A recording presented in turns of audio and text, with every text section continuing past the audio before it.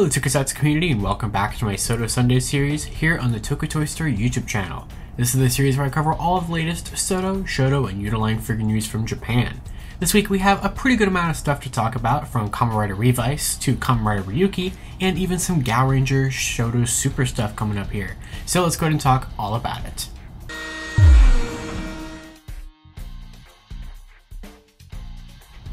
So first up from Kamen Rider Revice by 5, we have the next two figures being revealed along with some extra accessories and sticker options that were brand new to this SODO line.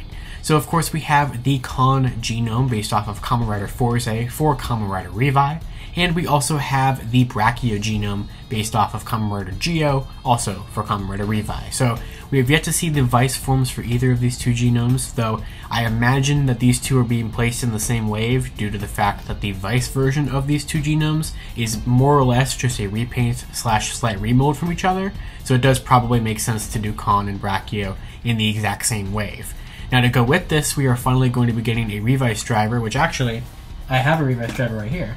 So it's going to be a Revice driver with a stamp like being pulled like this, like it's about to transition into a brand new form or something like that.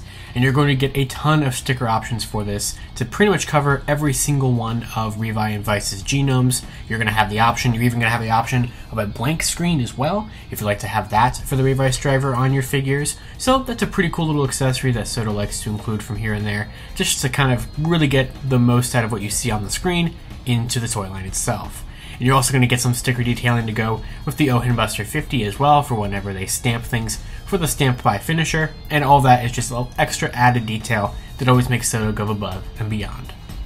So next up this week we have the end of SODO Chronicle Ryuki, which has been a thing for, you know, about half of a year or so at this point. A little longer, especially with all the monsters and everything that we've been getting in terms of those not being out yet. But we have the final two sets announced, and they did say that this is the end of SODO Chronicle Ryuki, so if you didn't get everything you would have wanted here, pretty much they're doing everything from the show and any actual, like, strictly Ryuki related things, and I'll get into that in a second.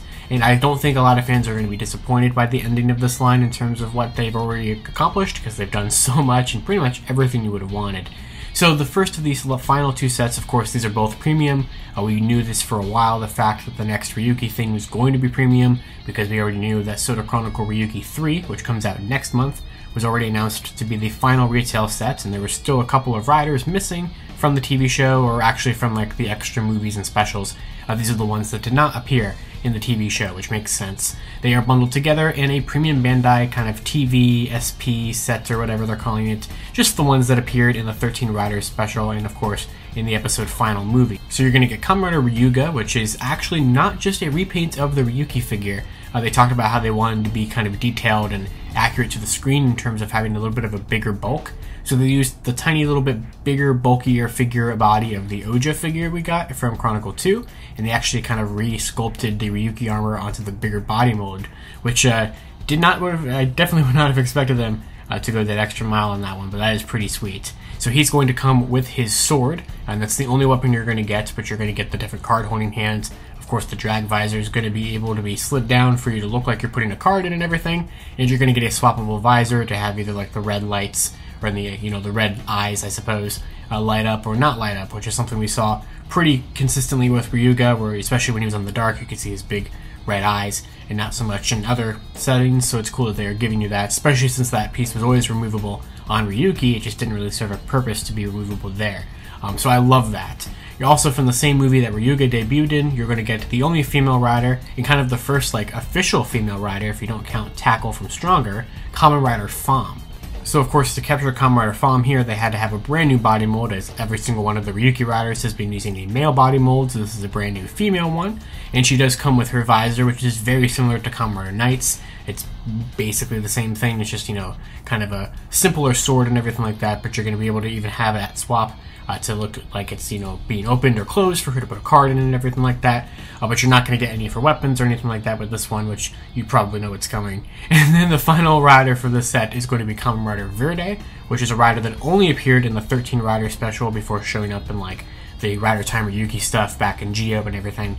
Uh, but definitely like the one that's had the least amount of screen time of any Ryuki rider for the most part. Uh, he was a little bit more of a bigger deal, kind of, in Rider Dragon Knight, uh, but it's great to have Verde here. He doesn't really come with much, he just kind of is here. Uh, doesn't really, you know, add a lot here because these are missing stuff because, of course, there's a second premium set. So this is the first one, and to go along with it, we have the ending of the monsters as well, which they've given us every single one of the Mirror monsters, which they did promise they were going to. And this set is probably exactly what you'd expect it to be. It's just a companion set to the Riders, as this is going to have Drag Blacker, it's going to have Blancwing, and Biogreeza, the three Mirror monsters of Ryuga, Femme, and Verde. So this is where you're going to get all the other weapons. So like the Drag Blacker is going to have the Strike Vent and the Guard Vent and uh, all that kind of stuff. And Blancwing's going to have the giant sword for Femme. It's going to have the shield vent or the guard vent. Uh, the Verde figure, or the Biogreeza for Verde, is going to have the swing vent, I think is what it's called, or whatever that's called. Uh, the, the yo-yo thing, which is actually going to be on a wire. Uh, the first SODO thing to like be on a wire, they were touting that and promoting that little cheeky thing. They were like, you can even recreate clear vents by just not having the figure there when the figure is invisible. Me, I have Verde's clear vent right here actually. so fun little thing there. They said you're gonna get the sticker uh, for that to be held in his hand with the card and everything. So that's pretty neat. And uh, that's that's the end of Kamen Rider SODO Ryuki Chronicle. Uh, the only thing they really didn't do was Kamen Abyss, which first and really only appeared in Kamen Decade, and hopefully we can go back to like Gaim and OOO, especially OOO with the new stuff for the new movie and everything that we still need for those shows because I like what Chronicle does and I can't wait to see what they have for us in the future. And finally, for this week, we have some surprise Gaoranger SHODO Super information. So, hot off the tails of the SMP Gao Hunter blog post the other day, we actually have an announcement for the Duke Org Rouki to get a figure in this line, which is really, really cool. Uh, for those in the Power Rangers you know, side of things, this is Zen-Aku from Power Rangers Wild Force. So this is really, really cool for him to get a figure to go with the SHODO Super stuff. I know a lot of people wanted this to happen, uh, to go with Gao Hunter as well, of course and they nailed it. I think it looks really pretty. It's very similar to the fact of how they did the Biohunter Silva when they released the Bioman SHODO Super set, and they talked about how they've wanted to do this one from the beginning. They just weren't 100% sure if they were going to be able to make it work or find a slot for it somewhere, and they did. So it is going to be releasing here. It's its own standalone thing, which is going to be a little pricey, of course, but there's nothing else with him. I mean, he has accessories and everything, obviously, but he doesn't have any other figures with him. He's just a companion piece to go with your SMP Gao Hunter and your Gao Ranger SHODO superset as well, especially Gao Silver. Uh, if you wanted to, you know, pose him with him and everything, or fighting the Gao Rangers, you can have Rouki do that, of course. And it's a really, really cool thing for us to get because I know a lot of people love the character in both Gao Ranger and Power Rangers Wild Force, and the suit is really cool. Alright guys, well that is going to do it for this week's episode of SODO Sundays. Of course, until next time, you can check out a bunch of other Tokusatsu related content from me around the internet, here on YouTube at Toku Topics, Geeky Tweak, and Soto Pop, and you can follow me on Twitter at LivingRichardKey or at LightningFigPR. And I'll see you all next time. Tokusatsu forever.